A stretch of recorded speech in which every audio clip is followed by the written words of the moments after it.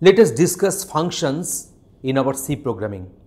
So in this particular session, we shall show you that what is a function, that is the definition of the function. Different kinds types of functions are there. So what are the types of the functions? Function coding, compilation and execution, program debugging and tracing. That is the most important one. We developers, we programmers, we coders, when we shall be writing our code, errors will be there. So how to make our program error free? So debugging means a process with the help of which we can make our program error free. Let us suppose a program is executing fine, so there is no error, no error is coming, but the program is not giving us the correct answer, the correct result. That means the program is having some logical errors.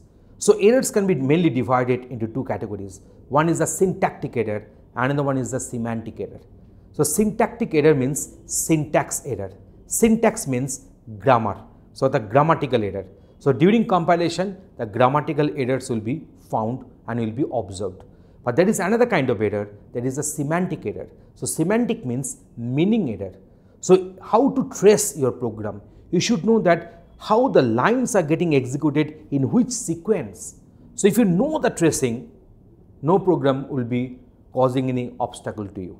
You can solve all the programs if you know the logic, if you are having the logical explanation, if you know that if you are having the logical background, you can solve any problem. So here we will be showing you that how to do the debugging and tracing. That is one of the most important points.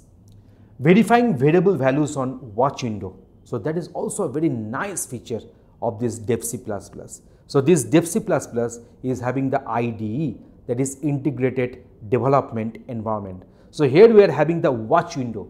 So during the running of my code, I can judge that what are the values are deciding in which variable. And from there, we can have the logical explanation of the health of the program and insertion of breakpoints and so many other issues. So don't miss the opportunity to watch the demonstration video which will be following next where we will be discussing all these aspects. In this video, at first we shall discuss what is a function and then we shall discuss what are the different function types and then we shall discuss how can we trace our program, debug our program to get the logical flow through a certain set of codes. So a function is a group of statements that together perform a task. Every C program has at least one function which is named as main and all the most trivial programs can define additional functions. We can divide up our code into separate functions. So function is nothing but a group of statements that will work together to perform a task. So here in this program, we are having two types of functions we are having. One is the main function, you see. Here the respective body we have defined and this body has been enclosed within this curly braces. So within this curly braces, the body of this function main has got enclosed. So each and every function should have a name and then opening bracket, first opening bracket and first closing bracket will be there. Printf is also another function. You can find that it is having opening bracket and it is having the closing bracket. So first opening bracket, first closing bracket.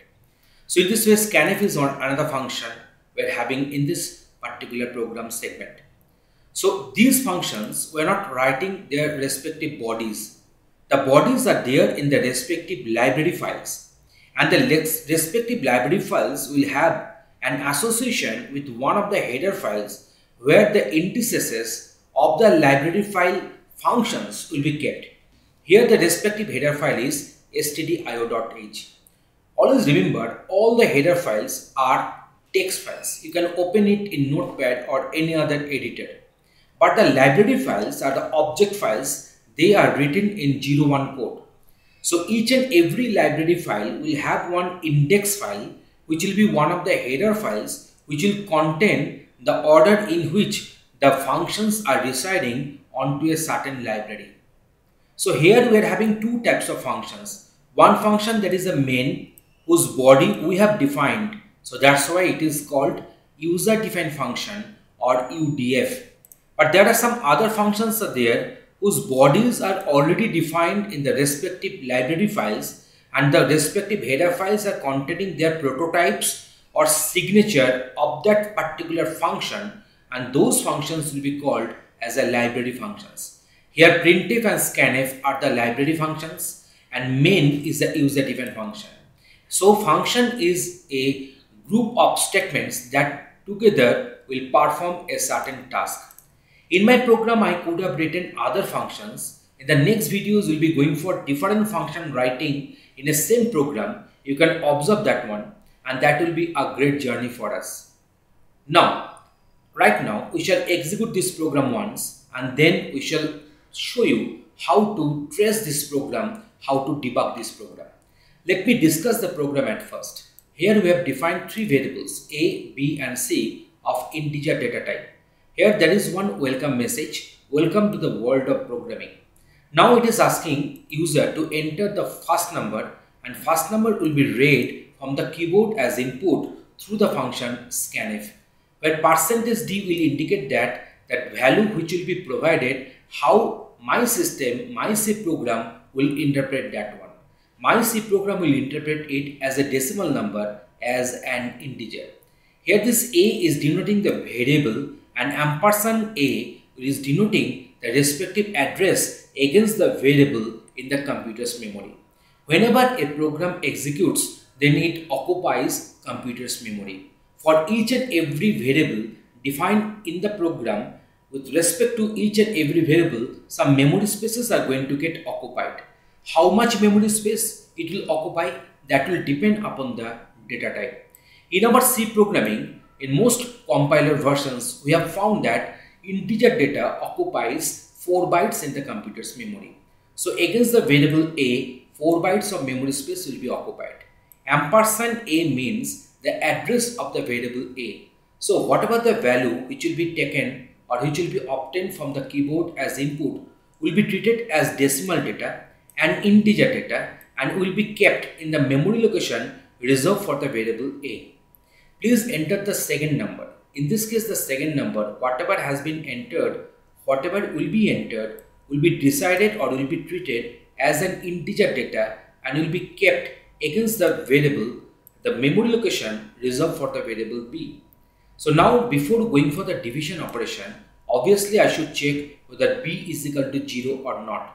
If b is equal to is equal to 0, then I shall print that division by 0 is illegal one message. You see this is if then else block. Then is in case of C programming we don't write then it is if else block. In this case if the condition is true then only this part will get executed and this part will remain unreachable and unexecuted. But if the condition is false then this part will remain unreachable, unexecuted and this part will be executed in that case. After executing all these statements, then the end of the program will get printed. So this is the purpose of the program which will take two numbers from the keyboard as input and it will calculate the quotient of A by B where A and B are two numbers taken from the keyboard as input and the quotient will be kept in C and the quotient will get printed along with A and B and respectively.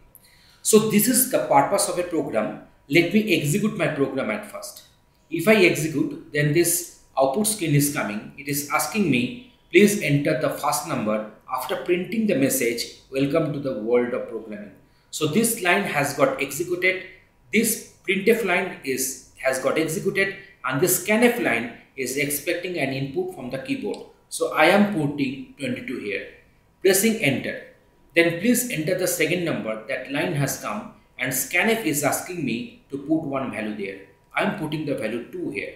So now what is happening? You see b is equal to 0 is getting false here because b is equal to 2. So that's why it is coming to this particular else part and c is equal to a by b. So it will keep the value 11 in c and so the quotient of this by that is this so it is getting printed like, so the quotient of 22 by 2 is 11. End of the program is getting executed. So in this way, one program executes. Now let me tell you how can I trace my program, how can I debug my program. In that case, at first you should have to go to the tools menu then come to the compiler option. Look at the options very carefully. We have, we have gone to the tools and then we are coming to the compiler options. Then we shall come to the settings. Compiler option is there. It is come, I'm coming to the settings and clicking on the linker and now generate debugging information. I shall make this one as yes. So where did I click at first? I went to the tools, then I click on the compiler options. Then I'm coming to the tab settings. Under the tab, we're getting the sub tab that is linker and here generate debugging information I'm just making this one yes by default it will remain as no. So now I'm going for OK. So my program is now ready to get traced so I'm just making this one rebuild all so that all my program has got compiled and it is ready to get executed. Now clicking on the debug tag this is a tab whatever you are having named as debug and then I'm going for add watch. Add watch means I want to Uh, add one watch to observe the values in the respective variables. So I'm putting this A. So under this debug tab this A is coming. Add watch. Let me also put watch on B. And let me also put watch on C. So in this way this ABC they have been observed under the tab debug. Now I am ready to debug my program. So before going for debugging, I'm putting one breakpoint here. So just clicking on this line numbers, you can put one breakpoint. This breakpoint coming is a toggle type. You can click to make it on, you can click to make it off. So this breakpoint has come. So let me ensure that my program has got compiled. So being with the debug tab, I'm clicking on this debug either here or here, both will be the same. So I'm clicking on this debug. So when I'm clicking on the debug, then this blue color bar is coming and this is known as the tracing bar.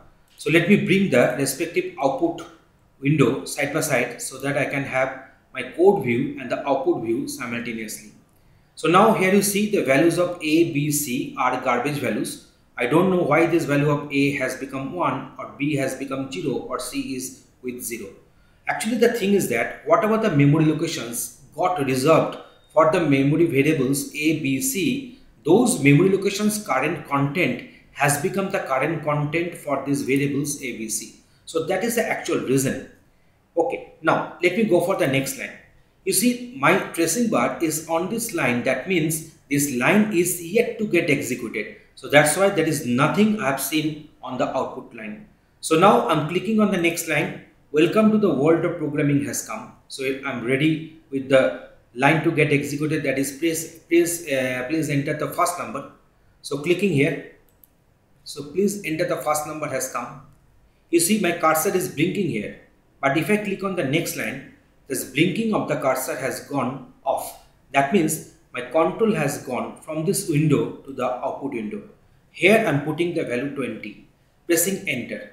So control has come to the next line. The tracing bar indicates that this line is going to be executed but not executed yet. And also I'm not finding any reflection that is please enter the second number coming on the screen. But if I click on the next line that will come.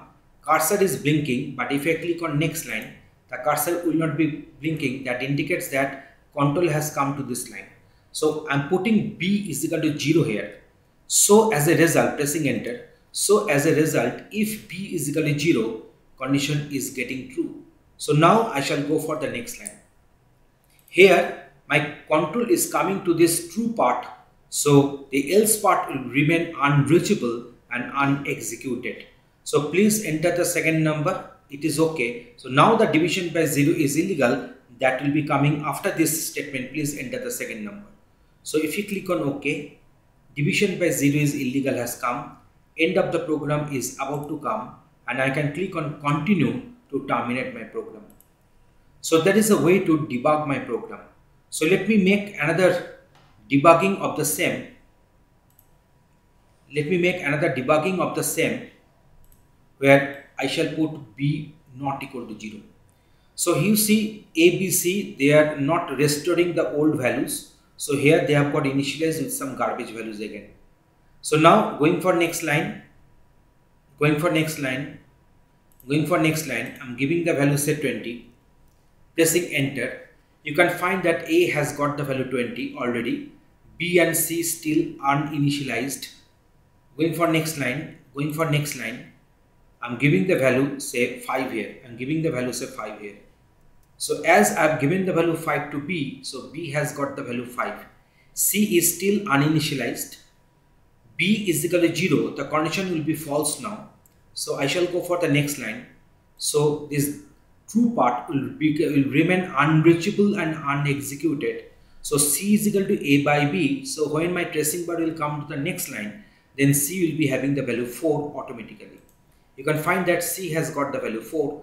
In this way, each and every program which is not giving you the correct result, not working according to our logic or programming, you should trace this program so that you can get the idea that what is the flaw and where we have made some faults. So the question, so this line is getting executed is just after clicking this next line. So the quotient of 20 by 5 is 4. So this line got executed. End of the program will be executed next and my cursor is blinking on this uh, curly brace and then I shall click on click on the next line and the program will get terminated if I click on continue. So you see my output screen has disappeared. In this way I can do the tracing of my program. So here I'm just making my program a little bit easier for us so I'm just going for this addition. And then I'm clicking on here. The output screen has come. So I'm, if I put here 11 and 22 I'm getting the respective sum. So I'm bringing this program in this version because in the next videos we'll be working on this uh, program whatever we have left here. And all those videos under this particular chapter will be in continuation. Please watch all of them so that you can have a confidence to work with the function and leave your comments in the comment block, suggestions and whatever the doubts and difficulties and issues you are facing, please share with us. We shall give you the respective support and reply. Thanks for watching this video.